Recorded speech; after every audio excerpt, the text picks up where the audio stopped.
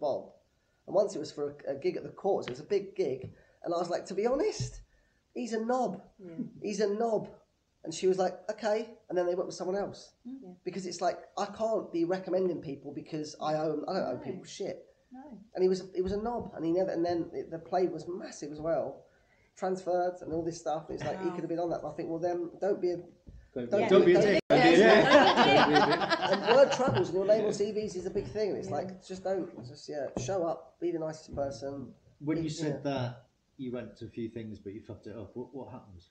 What's the story Oh, behind that? just it could be hours for this. I, just, I, I used to I used to go to auditions and do everything apart from the prep because I was so scared of failure. So I thought if I don't work really hard and I fail, it's because of whatever reason. I auditioned for the lead in a, in a, in a play at the National, and it was Marianne Elliott, who I think is the best director, and I think it was Tom Morris, two massive directors, and Alastair Coomer, who's the head of casting at National now. And I was so nervous. My mum, well done, mum, went, "Why don't you just have a few whiskies before you go in?" So I had three whiskies and turned up pissed.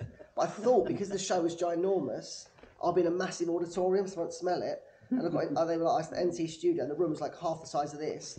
And they were there, and I went high, and I thought, they can oh. smell my fucking breath. And I stunk of like mm. hard whiskey. And the worst mm. thing was, the play had been published. So I took in the play, and I knew what scene they were going to do, which was the main scene. And then Tom Morris went, oh, because I got the play. He said, oh, we won't do it from that. And I went, no, no, no, it's fine.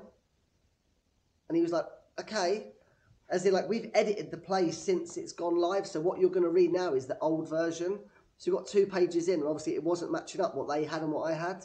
And I was like, yeah, can I have the, the actual script? It's like the worst thing ever. Didn't get that job either, which is no surprise. Burnt loads, but I think that's, that, don't that's don't have three yeah. whiskies before. yeah. yeah, but yeah, all them stories are just dreadful. I can't even. A lot of them are just revolting, but they make me, I think, now a better coach or a better person. I work with a lot of grads, and I say to a lot of them, like, here's just some tips. Don't do this. Don't do this. Don't do this. Like time. Like I used to go to auditions late. Remember Nick Hytner? I met Nick Hytner at National, and he went to me. It was for. Oh, it was for. I think it was for Oedipus with Ralph Fiennes, and I was about a minute late. And I turned up, and I wasn't even running. I just walked up towards the door, and Nick went, "Hey Niall," and I was like, "Yeah." He went, "Cool. Uh, you Bob, whatever. Let's go." And I was like, "No, no, no, no. I'm here for the thing." He said, "Yeah." He said, "You're, you're like, I'm not going to wait for you. I run the National Theatre." Cheers, Bob. Let's go. And then Bob went in, and I just stood there. That's to ring my agent, who was, was now is one of the biggest agents in fucking. And I was like, uh, I don't think Nick's going to see me. And he was like, You're late. And I was like, Yeah. And he was like, You're mad. So all them things happen. But again, it goes back to that thing we spoke before, and like how I, I think what makes me understand this monster industry is that you have a you have you have a, a, job to do. This is work. And I think I never saw it as that. I just it a bit of a piss about. Do and. I just used to like ring and call. I remember I rang. I used to ring the national like every Friday afternoon be like, any jobs? And they'd be like, oh, what was her name now? Juliet Horsley, who's like massive now God, yeah. went to meet Niall, Ma- making ugly, horrible choices that I made in like my twenties and my thirties to a certain degree are all now making me like a better teacher or a better practitioner now. You think, oh, well, that hasn't worked. So, Mm. okay, well, that opportunity's there. So let's go and grab that.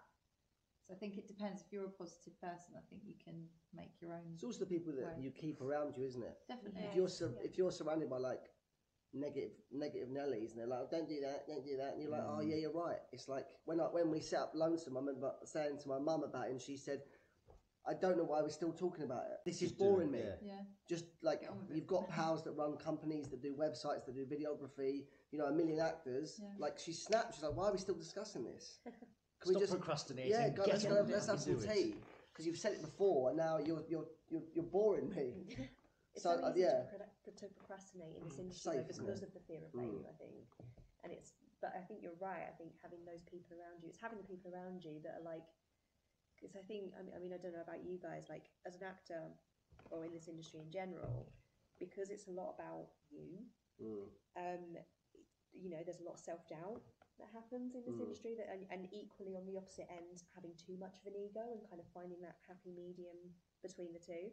But I think procrastinating is a, is a huge part of that because it's almost like, well, if I if I, keep putting this off and I don't actually put all my energy into Mm. it, if I fail, I can say, well, it's because you know I didn't put all my Yeah, energy exactly, into it. yeah, it's yeah. fine. Um, so easy, but uh, you you have to have people around you that say, just fucking do it. Just do Yeah. it. At the same time, you've got to take it seriously. You know, Yeah, you've my God, got yeah. you've got to put in the work.